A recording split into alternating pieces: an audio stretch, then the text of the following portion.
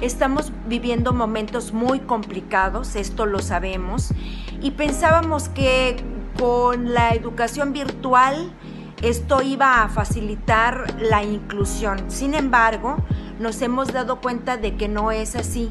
Necesitamos hacer un verdadero esfuerzo para que la educación a través de Internet sea una realidad para todas y para todos los niños.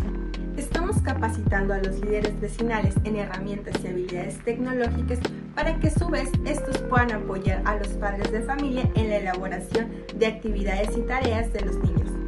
Dentro de la sociedad civil organizada hemos hecho programas como el por alguien y Reduce tu huella, donde llevamos todas las semanas material educativo para las y los niños en situación de pobreza extrema en las periferias de la ciudad, así como cada sábado a educadores a reforzar lo visto en la semana y evitar el gran rezago educativo que se puede provocar por esta pandemia.